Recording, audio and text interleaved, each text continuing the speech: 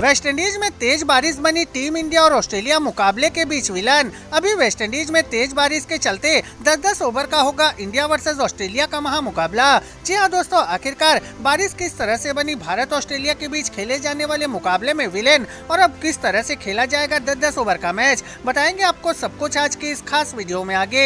लेकिन इससे पहले आप भी टीम इंडिया को सपोर्ट करते हैं तो इस वीडियो को दिल से एक लाइक कर दीजिए, साथ ही चैनल को सब्सक्राइब करना बिल्कुल भी ना भूलें। तो चलिए वीडियो को शुरू करते हैं। टीम इंडिया और ऑस्ट्रेलिया के बीच आज सुपर एट का आखिरी मुकाबला खेला जाना है। आपको बता दें कि इस मुकाबले में भारतीय टीम की निगाहें ऑस्ट्रेलिया को मात देने पर टिकी होगी। भारतीय टीम इस मुकाबले में ऑस्ट्रेलिया को हराकर छह अंक हासिल कर सीधा सेमीफाइनल में क्वालिफाई कर जाएगी। अगर टीम इंडिया इस मुकाबले में जीत जाती है तो ऑस्ट्रेलियाई टीम का सफ़र सेमीफाइनल से पहले ही खत्म हो जाएगा।